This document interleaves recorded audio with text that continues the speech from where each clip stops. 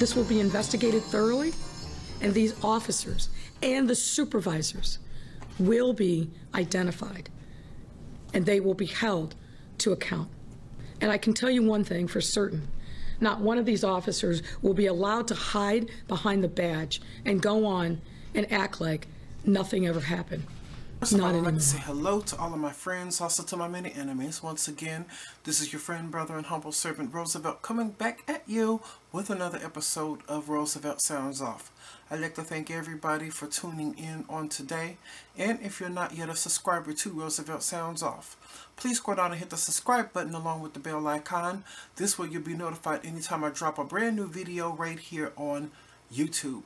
It's my goal to soon get to 400 subscribers because when I do, I do have a special surprise for all of you.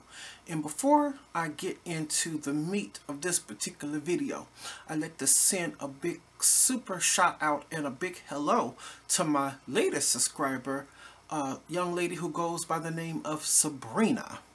And Sabrina is a friend of another friend of mine. They used to go to the same church together.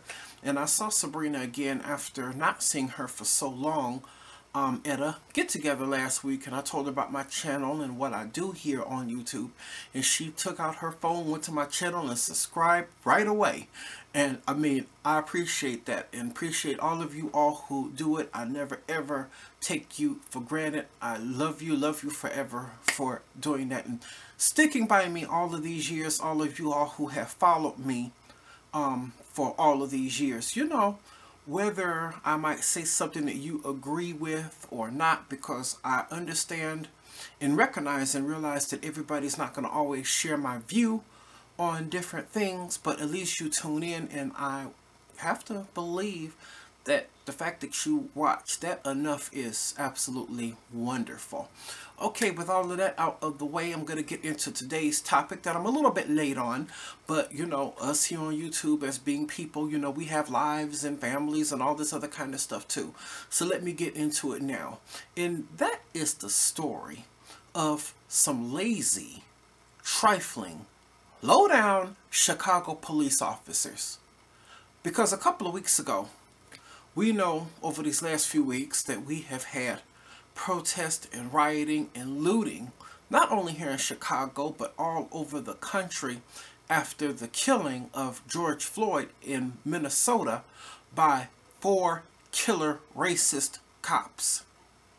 So, a couple of weeks ago, when all of the rioting and looting was going on, especially on the south side of Chicago, there were some officers who burglarized or broke in or someone else burglarized or broke in to the campaign office of Congressman Bobby Rush.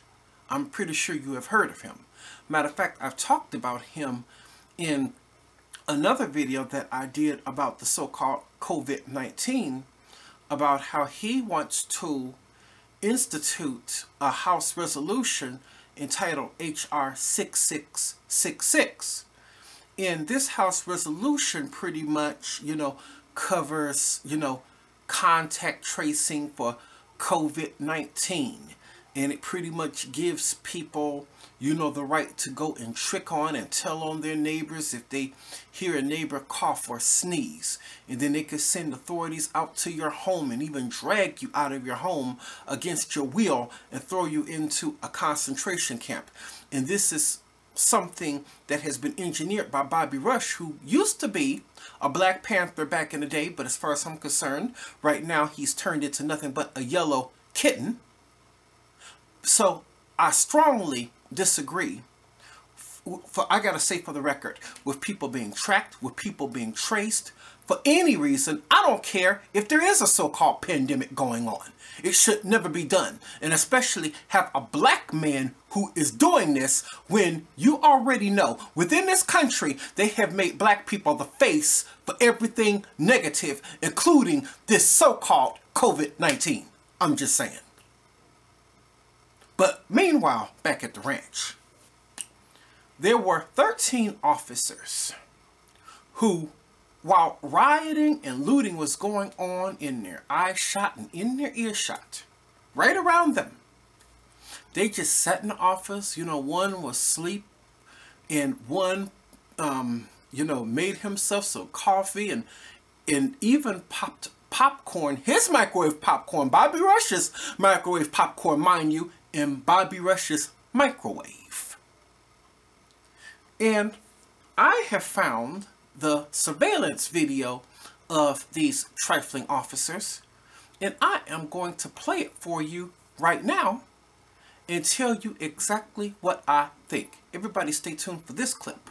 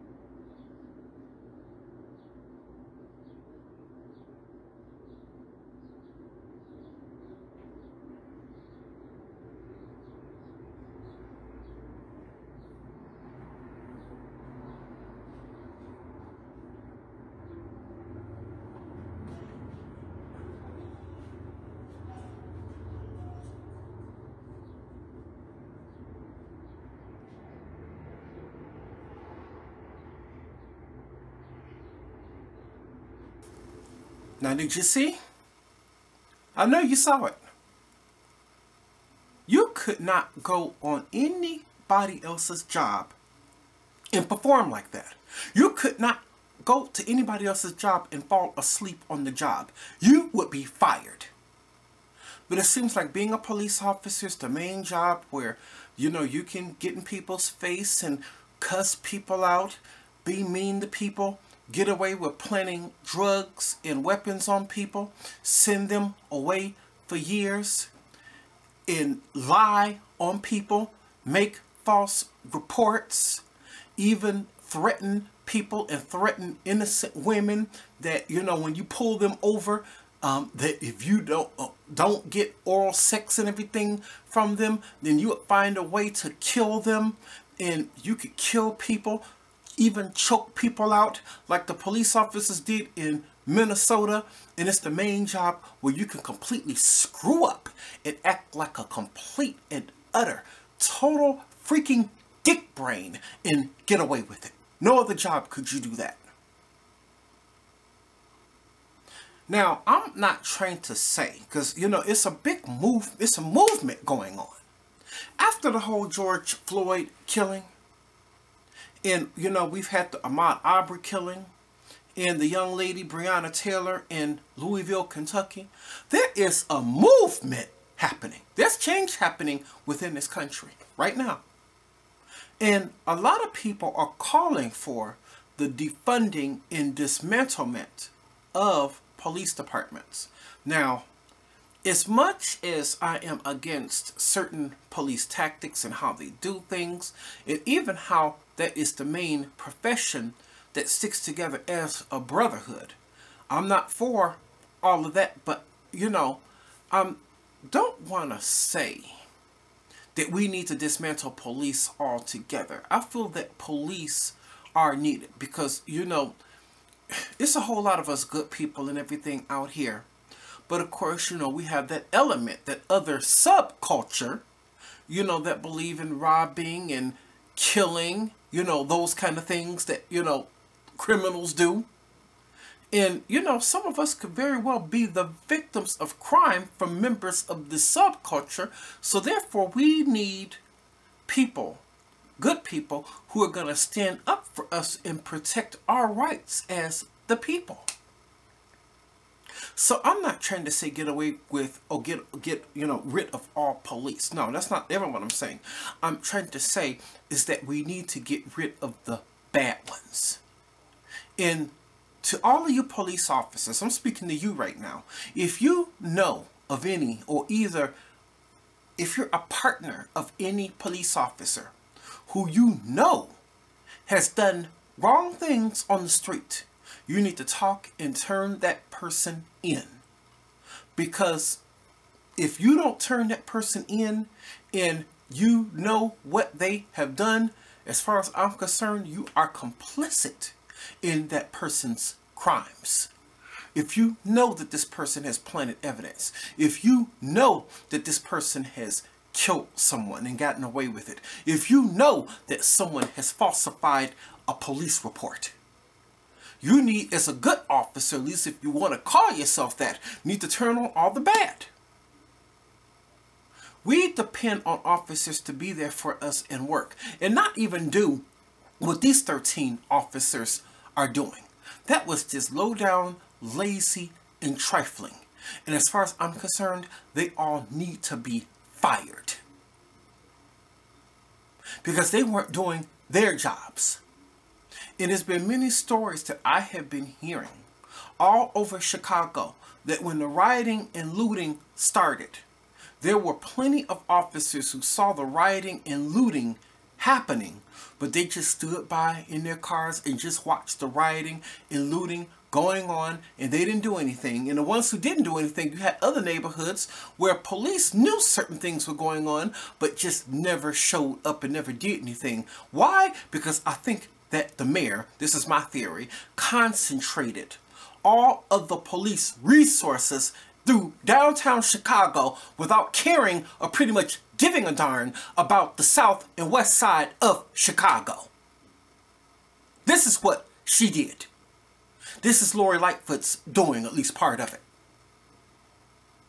Because when the rioting and looting took place in downtown Chicago, she had a massive police presence. I know because I was down there when the rioting and looting started and you had all these police coming in, blocking off streets and all of that. They even raised the bridge over the Chicago River to keep people from the north from crossing the bridge and coming into downtown. They stopped the bus and the train service from going into downtown Chicago. She had downtown Chicago completely blocked off and locked down. So all the police resources went to downtown Chicago. And even though right now, even though every part of Chicago was affected, especially the south and west side with looting, not to mention downtown, I'm pretty sure when it comes down to cleaning up, when it comes down to repairing, when it comes down to rebuilding, all of the resources of the city are going to be concentrated to rebuilding and building up downtown, not the south and west side of Chicago. This is what happened. So therefore, you know, since, you know, we are black and Latin people, you know, the officers, you know, in this particular video, didn't care what was going on. They wanted this all to happen. These lazy officers. This should not be. We have enough problems already as it is without adding more fuel to the fire. So right now, you know, I decided to just say my little part and give my, you know, take on it. Right now, I'm getting ready to play you a long clip of the news conference in between Lori Lightfoot, you know, our police superintendent, David Brown, and there's a couple of more people in here too in this news conference.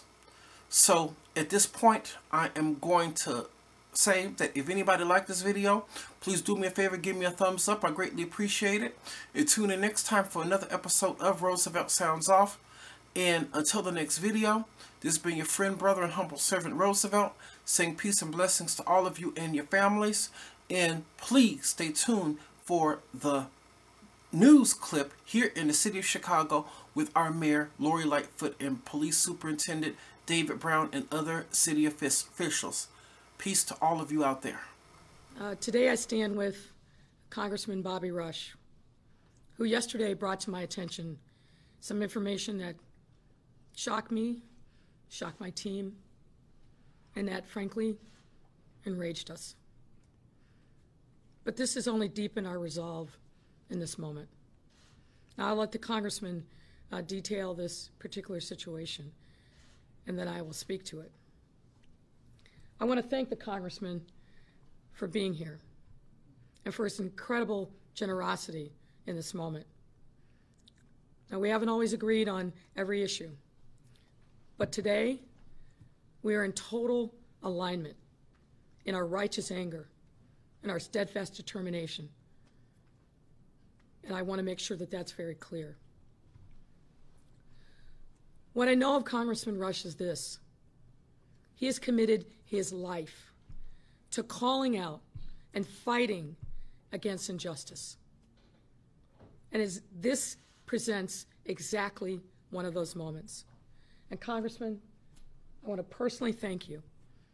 And I commit to being your partner and making sure that we move forward together and use this moment as an opportunity to speak hard truths, to heal what is broken in our city, and that we join you on your lifelong fight for justice, and particularly for black and brown people in our city.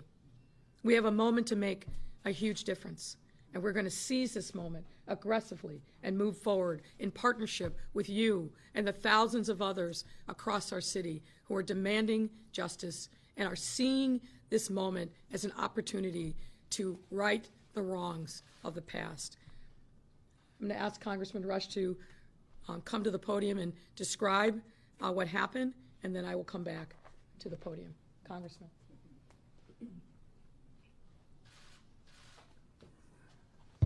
Thank you, Mayor Lightfoot.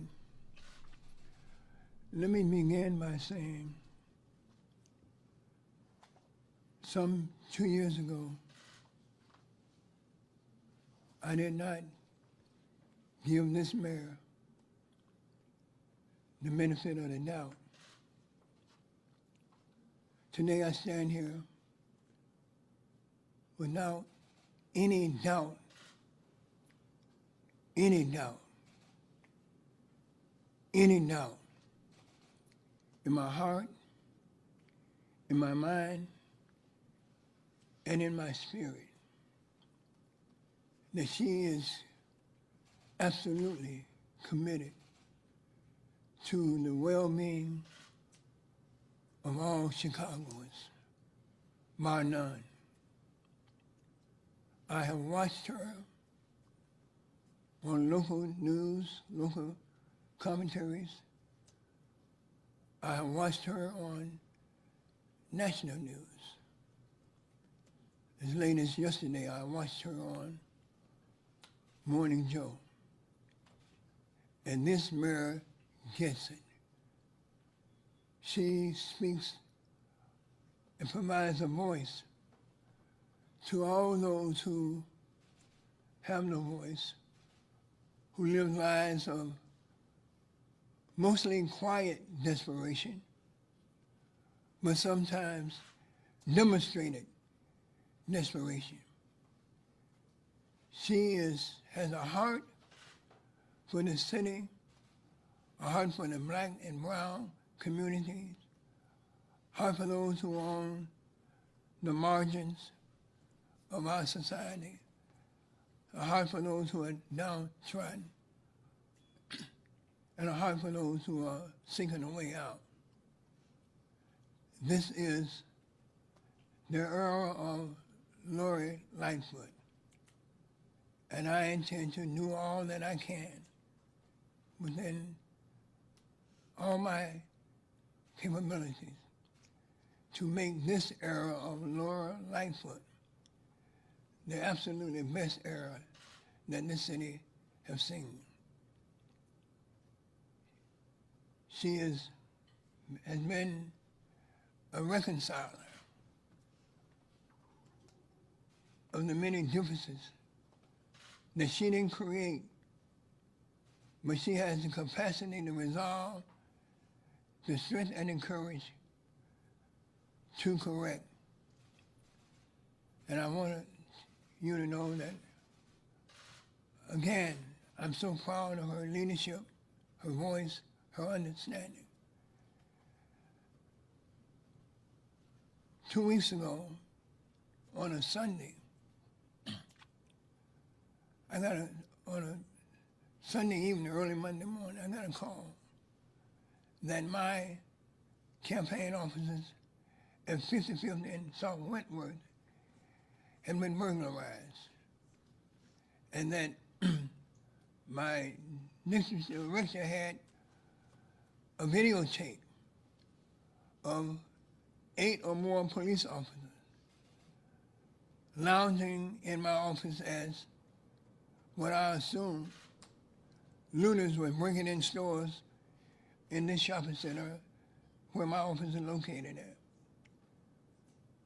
We looked at the videotape and we saw eight or more police officers, including three white shirts,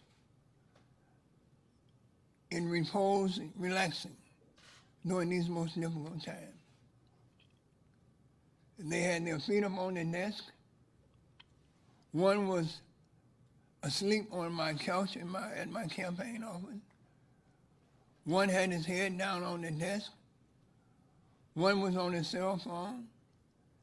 They even had the unmitigated gall to go and make coffee for themselves and to pop popcorn, my popcorn, in my microwave while looters were tearing apart businesses within their sight, within their reach. They were in a mode of, of relaxation and they did not care about what was happening to business people, to the, this city. They didn't care. They absolutely didn't care. I talked to, I called Alderman Dowell on last weekend and asked her would she contact the mayor, tell the mayor that I have a video of these police officers in their mis or no conduct, lack of conduct, and I wanted to share that with her. I am so amazed, so thankful that it didn't take four hours since I talked to Alderman Dowell that the mayor was on the phone calling me, asking me, could I come down to City Hall? I told her that I was I had some obligation at my church. She said, well, what time do they in? I said, well, they in at, from, at 7 o'clock. Can you be here at 7.30? Last night at 7.30, I showed up here at City Hall. The mayor waiting for me the police superintendent waiting for me. She wanted to view this videotape. I was absolutely, I am absolutely amazed at her response. How she takes it personally that these police officers, while on duty in uniform, white shirts and mobs, how they took such a lackadaisical attitude, a non caring attitude, violating my personal space while looting was occurring all around them. They didn't care. But I stand here to salute our great mayor because although the policeman in that office in repose, in relaxation, didn't care, our mayor cared. She did care. And I'm so glad to be here this afternoon, standing with a mayor who cares. Thank you.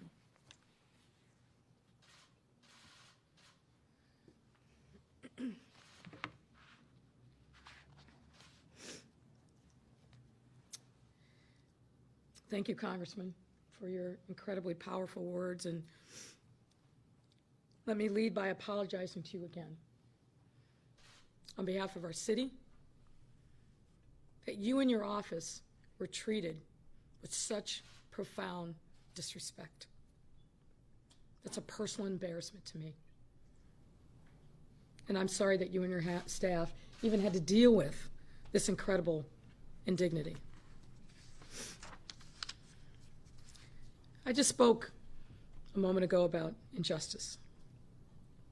And it manifests itself in many obvious, but also subtle and insidious ways.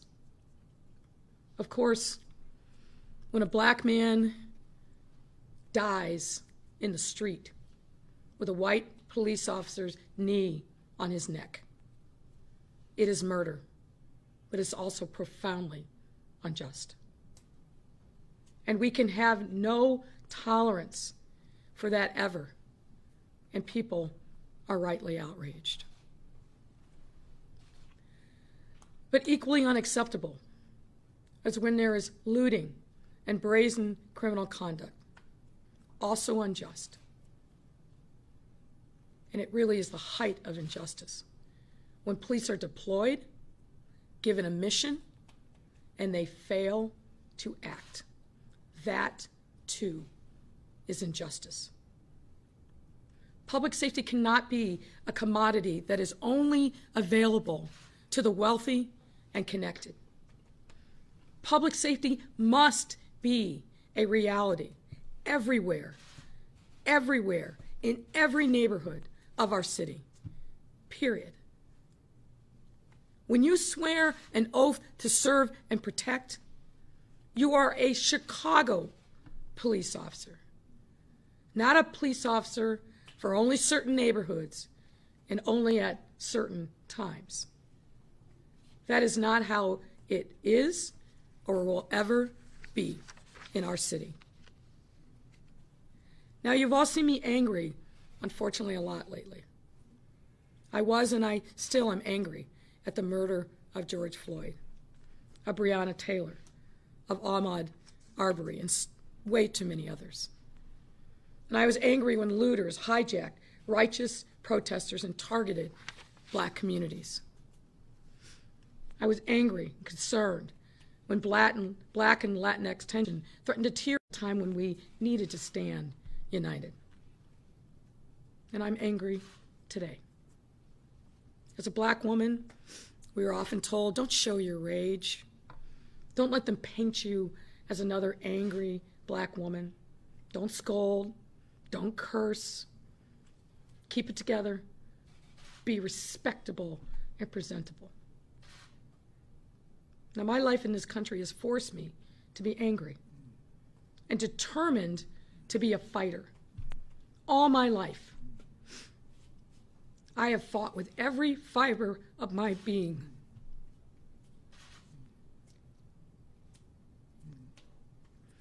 To survive in a world that was built to throw flaming roadblocks in our way as black people. And I am working every day to instill that fight and that determination in my black daughter and show her that even, yes, we have a responsibility to live our full and authentic lives, even in the face of these deeply ingrained and innately violent systems of racism. And if we're angry, let's not shrink from that. But let's use our anger to get results. And what I'm also feeling in this moment is incredible resolve. I do have a range of emotions as I stand here, but mostly I'm done. We cannot go on like this anymore. Look, we don't paint all police officers with a broad brush. That would be wrong. And I spent a lot of time, and a lot of time being criticized for it, for praising our officers for their hard work, for their restraint, for de escalation in the vast majority of cases over the recent weeks of unrest and protest. Those men and women are the heroes, and they have served the city honorably, and they represent the badge proudly. But the officers in this incident and others we've seen in the past weeks, Jack, if we can show like this, have demonstrated a total disregard for their colleagues, for the badge, and for those they were sworn to serve and protect. And these officers will be held accountable. This will be investigated thoroughly. That's what we have Chief Kono of IAD here and Sydney Roberts of the Office of Civilian, uh, Civilian Office of Police Accountability.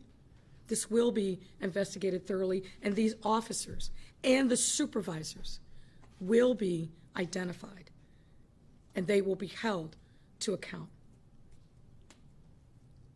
And I can tell you one thing for certain not one of these officers will be allowed to hide behind the badge and go on and act like nothing ever happened. Not anymore. Not in my city, not in your city. I was elected on a pledge to ensure transparency and accountability in all things, and particularly with the Chicago Police Department. We know we have a difficult and painful history in our city around delaying the release of videos depicting police misconduct. That is in part why we're showing you these images here today, less than 24 hours after I first laid eyes on them. What they show, regrettably, is that these individuals were lounging in a congressman's office, having a little hangout for themselves, while small businesses on the south side were looted and burned, while their colleagues were getting bottles thrown at their heads and doing everything they could to protect these communities. And perhaps what is most harmful about this is that for so many people on the South and the West Side, the actions of these officers, the deplorable lack of responsibility to do their job at a time when the city and their fellow officers needed them most, their conduct will confirm the perception that too many people on the South and the West Side were left to fend for themselves. That police don't care if black and brown communities were looted and burned. And while thousands of officers served honorably on that very difficult weekend and every day since,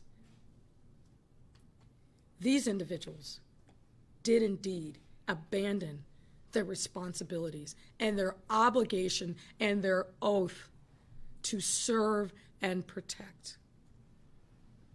We should all be disgusted. And we should all feel hurt and betrayed in this moment of all moments. But let's also not lose sight of the opportunity that this presents. This is a moment to be bold. And if we don't harness this moment to rethink what serving and protecting means, we will never do it.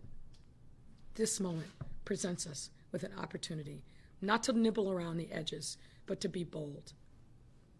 We're already working every day to implement the requirements of the consent decree, but that's not enough.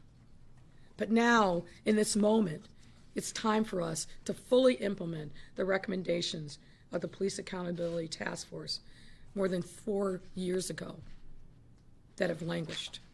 Now is the moment to be honest about the ways in which the Fraternal Order of Police contract has been holding back the necessary change and reform that we must bring to make this police department fully accountable to the residents of this city. And now is the time to act on licensing for police officers once and for all. I'm here to tell you today that I have directed my legal team to do the research and to draft the legislation. I am ready. I am ready to work with the governor and our other great partners in Springfield to forge a change in state law to require licensing and certification of police officers. And I'm grateful for the attendance of Brad Cole, the leader of the Illinois Municipal League, and we will work together to make sure that we get this legislation passed. It's time, really, actually, it's way past time for this change in our state.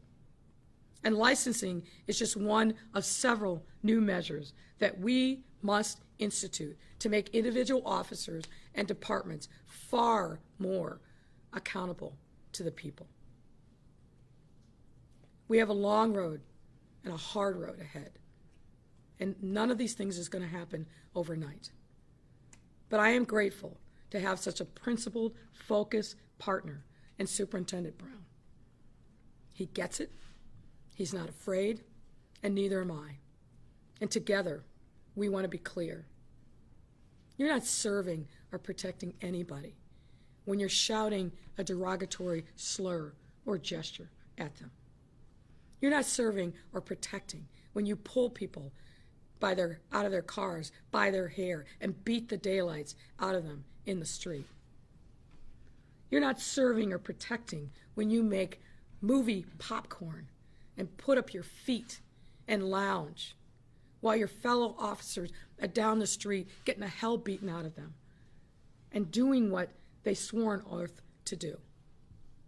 So today, yes, we are angry, but we're also resolved and we are committed.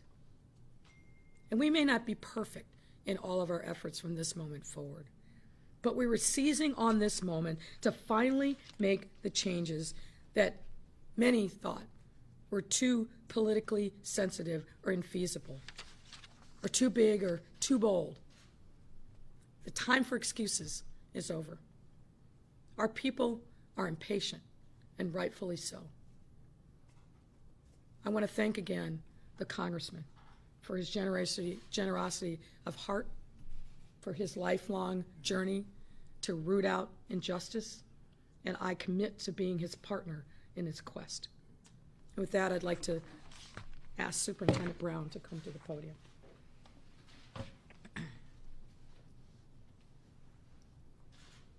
Thank you, Mayor, and let, let me echo the mayor's sentiment to Congressman Rush. Thank you so much, and a personal apology to you for the actions of these officers from me.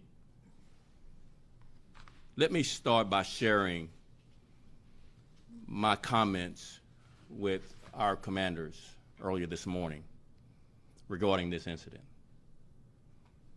I started out by saying what I truly believe is universally true in policing and beyond that behavior reflects leadership. Always. It's a hard truth to take when you're a leader that you're responsible for the behavior of others. And we, we had an exchange about consequences for this type of behavior that we've seen, not just what happened at the congressman's office, but the other behavior, you know, the officers giving the finger, homophobic slurs, excessive force. That behavior reflects our leadership. Officers asleep during a riot with supervisors in tow reflects our leadership.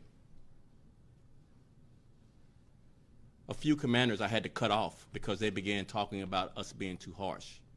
And when he said us, I said, You mean me being too harsh by relieving officers of their police powers?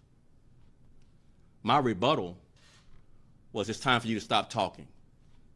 Our words are cheap when we defend officers for their misconduct. That the integrity of the Chicago Police Department is far more important than any individual's officer's friendship with you or family relationship with you. Our integrity to the residents of Chicago is our number one, two, and three priority. That we are in a seminal moment. That we have to reveal our leadership. If that means strict discipline, that's what it means. We are determined. You know, when I was I, I was raised by a Southern mother, my mother's from the South. And even as a adult, my mother would look at me when I was doing something that didn't represent the family well. And she would want me to look at her to see her expression when she told me, I'm not playing with you.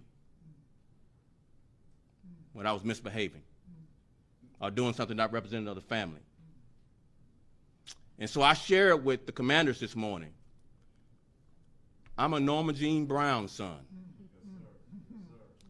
And I'm not playing with you. That I mean what I say when I say we're going to hold you accountable and that your behavior reflects my leadership and it reflects all of your leadership. Move, get out of the way, but we are going to uphold the nobility of this profession. We're going to reveal our leadership, and we will be accountable to the Chicagoans that deserve a department that they can be proud of. That this conduct is not representative, but if it's not, let's do something about it. Let's just quit talking about they're good officers, that we did a good job, and that these are few bad apples. Let's now be the good cops who hold the bad cops accountable by rooting them out of this profession. Period. No question mark. No gray area. This kind of conduct means if you sleep during a riot, what do you do on a regular shift when there's no riot? What, what are you doing when there's no crisis? And what makes you comfortable enough that supervisors won't hold you accountable? That means sergeants, lieutenants, commanders, chiefs, deputy chiefs need to step up or step out. I'm not playing.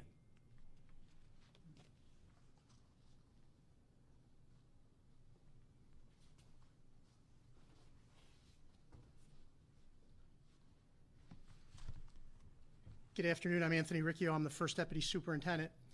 Um, you notice I'm up here with no notes, uh, no script, because I don't need to script this. This is indefensible.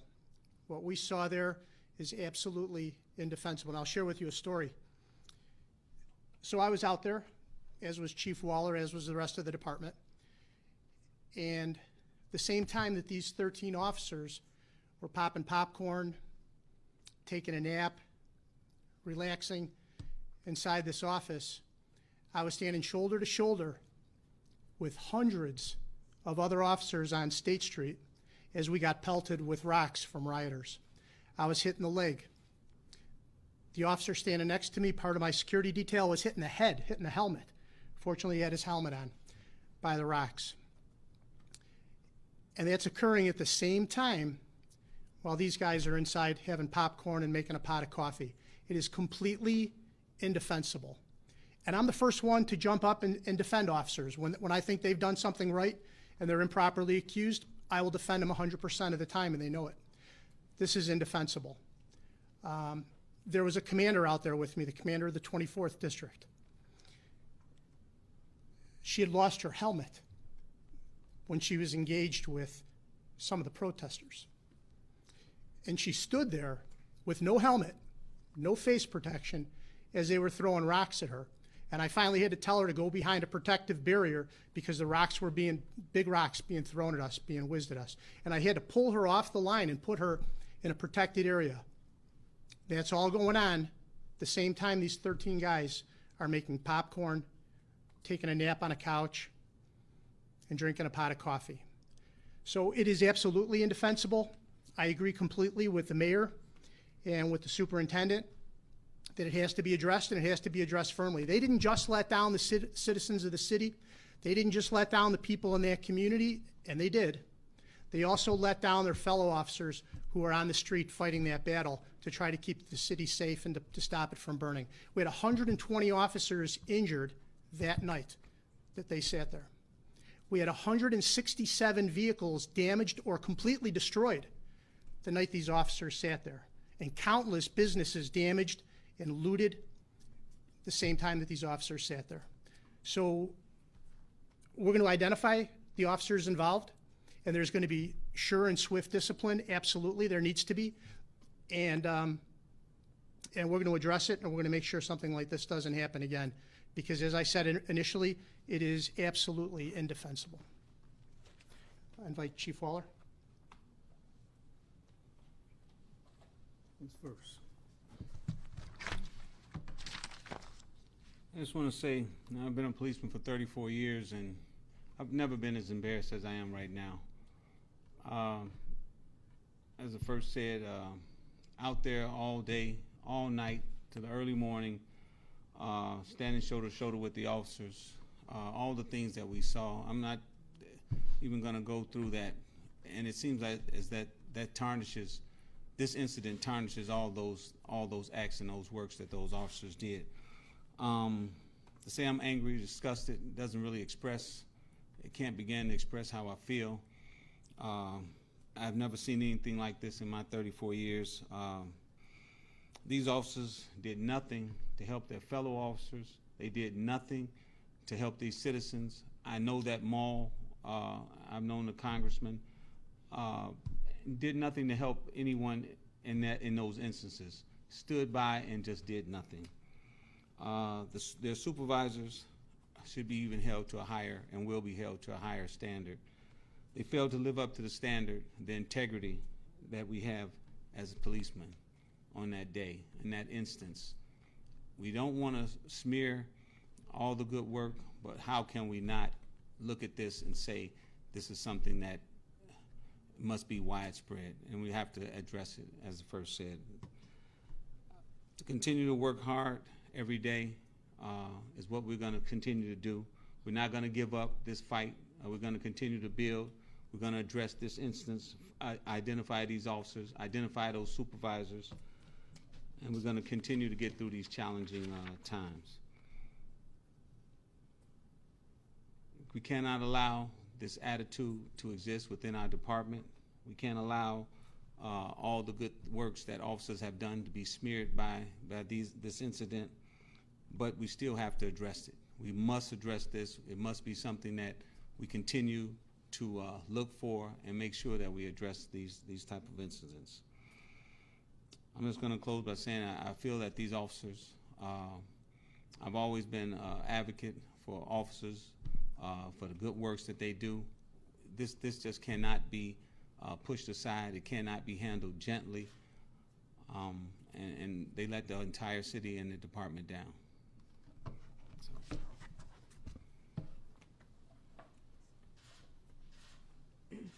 We'll take your questions at this time. Mayor, thank you. Can we go over just a couple of the details of the timetable? First of all, was the office burglarized by someone else? Yes.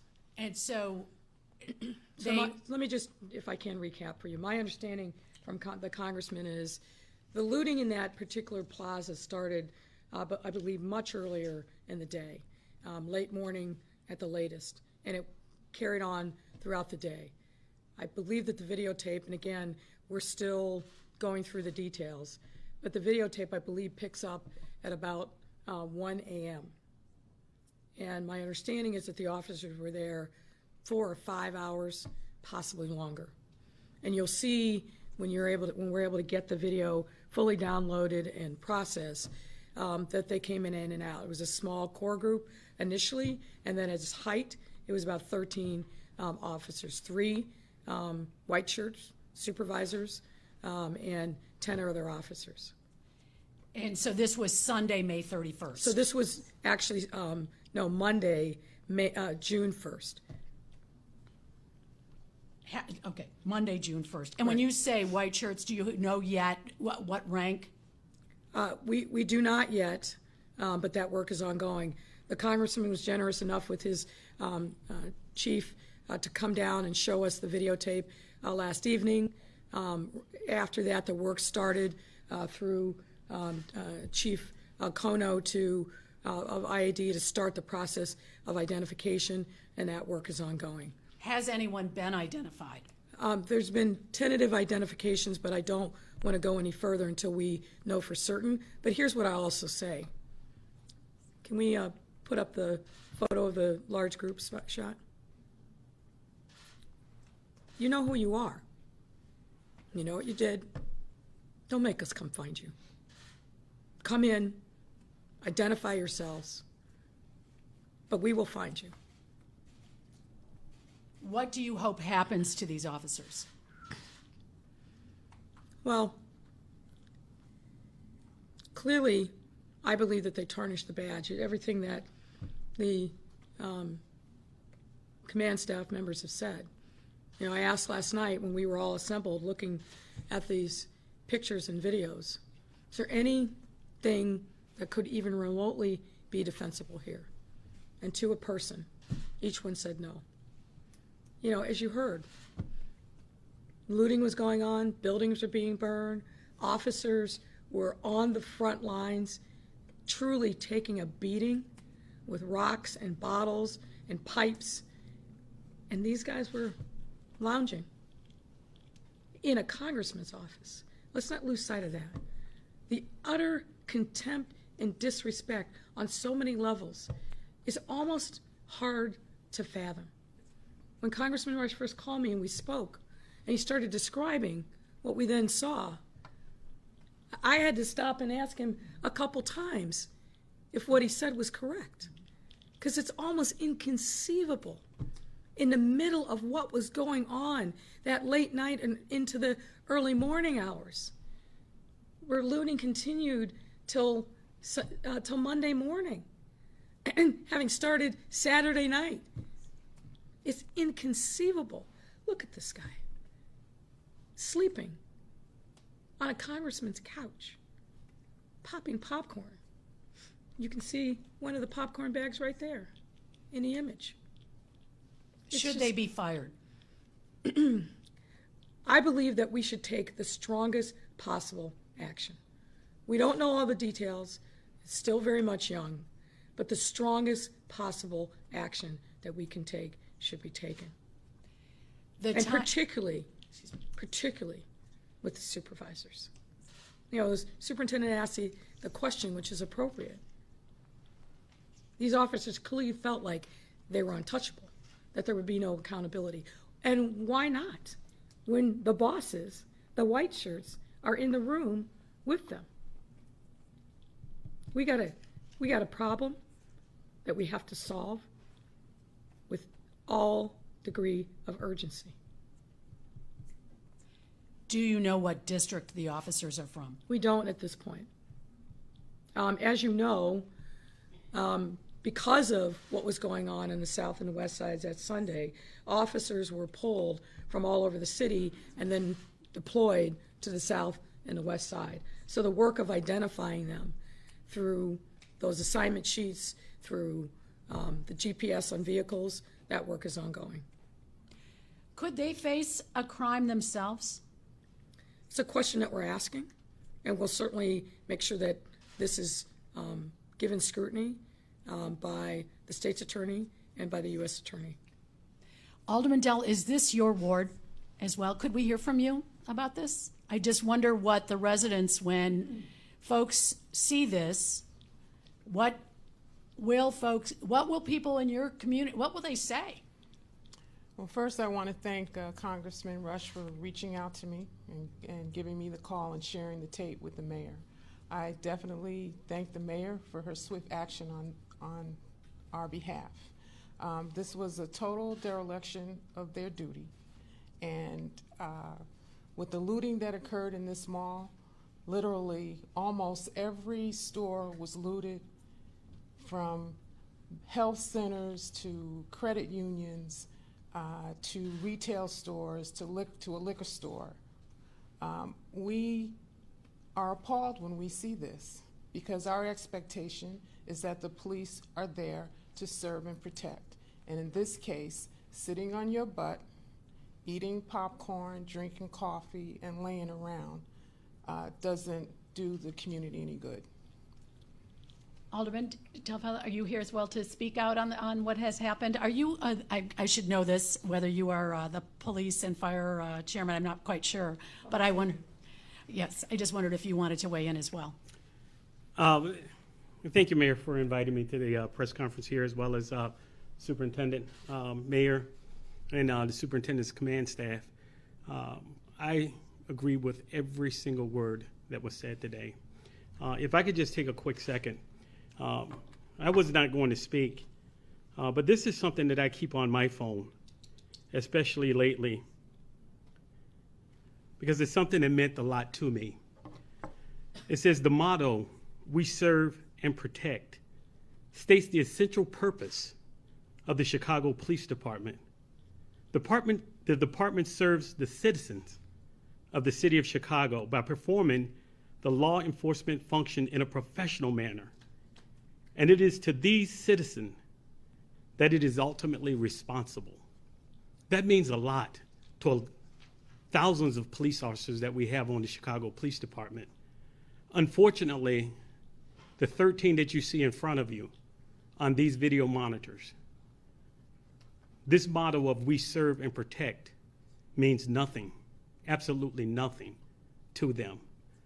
Those that have honorably served this department in the past and those that will serve it in the future needs to make sure that this is in, embedded in their thoughts every single day that they walk outside the door to serve this great city. They owe responsibility and an obligation, not only to the officers that they serve with, not only to their families that they're working very hard for, but they owe that responsibility to the citizens first in the city of Chicago, to the business owners that set up their shops in the city of Chicago, to the seniors that reside in the city of Chicago, because we rely on them. We rely on just service. And when we can't get it, this is what happens. The mayor didn't mention that there were deaths quite a few deaths over the weekend. And I would hate to see that a death occurred in that area where these officers felt it was more important for them to take a nap, that it was more important for them to eat a bag of popcorn, or that it was more important for them to get a cup of coffee. Again, I say that this responsibility of performing their duties in a professional manner is their first priority as a police officer. I said this morning, and I'll, I'll be very brief. I said this morning that since the 1830s, the concept of policing and the principles of policing have never changed. The purpose of a police department in our society is still the same. In the hundreds of years that police departments have served the cities throughout this country and throughout the world, that concept remains untrained. It's the techniques that's being used to perform those uh, those principal functions. That is what's changed over the year. We got to get back. Our police, police department has to get back to understanding what the core principles of policing means. And so I stand with the mayor and the superintendent and his command staff in making sure that swift um, the discipline is swift in this matter. Thank you. Thank you. Mayor, was there any delay? I know you didn't see this until yesterday. But because this happened, uh, why so many days before we're all aware now of this? Well, I'll, I'll let the, the congressman speak to that, but um, I think what happened is they were simply trying to take stock of what happened. And really, uh, this was a um, campaign office. My understanding is it had been shut down after the primary. Um, his, Congressman's staff had dutifully been out there at multiple times that day, saw that it was broken up, uh, broken into, but of course never would have conceived what they ended up seeing. And then when they did look at the video and saw the looters, but then saw what we now know, that's when um, they decided to act. But I, I think it was just everybody has felt incredibly overwhelmed over these last couple of weeks, Congressman. Mayor, let me just say, uh, I didn't want to share this with, because it's kind of personal, but on that very day,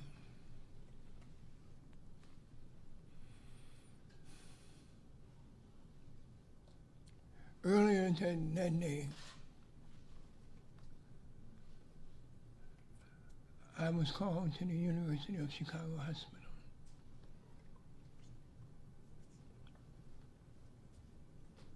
My younger, youngest sister, Judy, passed that very day. And so my family and I had to take some time to process all of that. That was priority for my family and for myself. So that is the primary reason that I hesitated or delayed in sharing this video with the mayor. But notwithstanding the, the delay, within a matter of a couple of hours, after she laid eyes on that video, she swung into action. And I just want to tell all the citizens of this great city line up behind this mayor. Get behind our mayor. She has the right stuff. She will make a difference in this city. And she needs our absolute commitment to work with her to right the tremendous wrongs that have existed in this city for decades. With the police department in the forefront of that.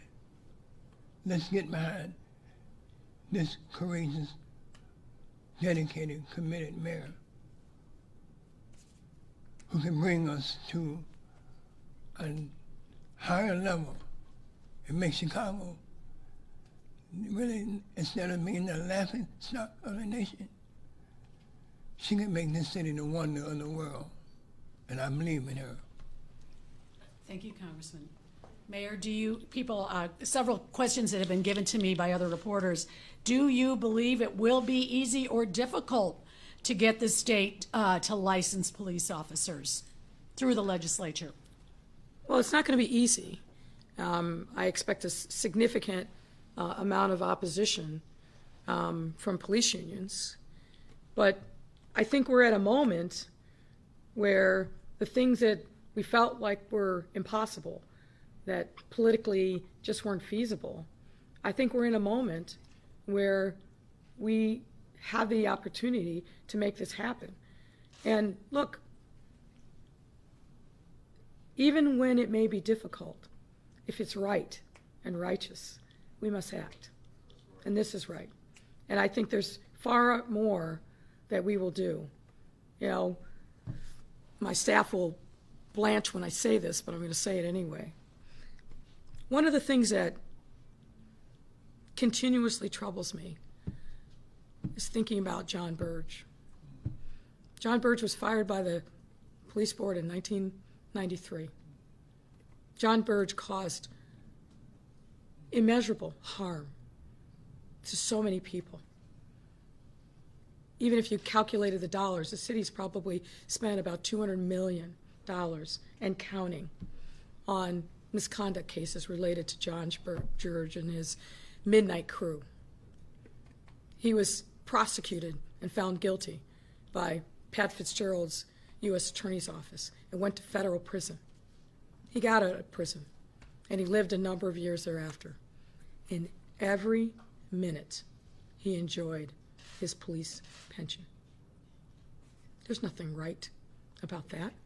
That's offensive. And so we've got to address that issue as well. The Southside Weekly is asking that $10 million from the CARES Act is going for violence prevention. Mm-hmm.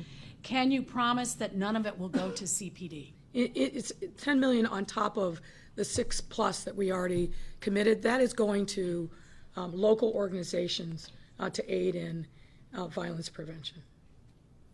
Uh, the Block Club is asking about the budget as well. Chicago's budget, 40% goes to policing. Mm-hmm. Do you plan on reducing that number?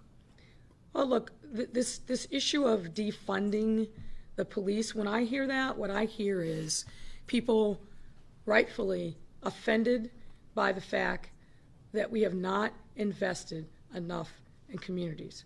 And I've been very clear about this. I ran on this. I like to think I got elected because I ran on this. We have to bring resources and investments to neighborhoods and communities that have been without an ounce of investment for decades. And I won't go on and recount the things that we've already done, but I am committed to making sure that we change that history so that we are investing and answering the cry and the plea of this moment. And I'm committed to doing that. I don't believe that we can survive as a city without making these kinds of critical investments. I also know, and one of the um, folks said it, I think it was Alderman Taliaferro, on that same Sunday where the looting was happening, 17 people were murdered in our city. 17 people. I know that we have open air drug markets where they're unbelievably lucrative $30,000 in cash a day, and they will shoot and kill anybody to keep that territory. We need to have this discussion, but we need to have it in the full context and understanding of the time that we are in. Could you react, as well as the superintendent, would you both react to the Fraternal Order of Police president saying that he could expel members who kneel in solidarity with protesters while in uniform? You know what? Um, there will be a reckoning for the FOP, and I think that moment is now. And that's what I'll say about that. Superintendent, would you I don't know if weigh in as well? It's just hard to take those kinds of comments uh, serious uh, as we deal with um, COVID environment, historically high violent crime, and now misconduct uh, as relates to civil unrest. H- how does that bubble up to the most important thing to comment on? It, it's it's it's not. I answer my own question. It's not as important as the deal what we're dealing with, and I won't dignify it with an answer. I- And I do have, okay, one other one uh, from my colleague Charlie Wojciechowski. There has been a wrongful police raid lawsuit, Superintendent, that was filed today. Um, The Lyons family, it was a late February raid. Uh, Any chance of getting a reaction from you about that wrongful raid? I'll review that investigation and, and we'll either put out a statement or we'll uh, you know, stand by the statement we've put out on it already. Thank you. Thank you. And then, thank you, Mayor. You may of you have seen this as well. There's a CTA viral video. Have you seen it? I of have. A CTA employee uh, slam, slamming someone. Obviously, you see just a bit of it. I, you don't know what might have happened before or after, or any reaction to that video. I, I saw it. It's incredibly disturbing, to say the least. Um, both uh, the physical conduct of somebody who looks like they're a CTA employee, the words that were spoken. Um, I can tell you that uh, President Carter of the CTA is very well aware of it.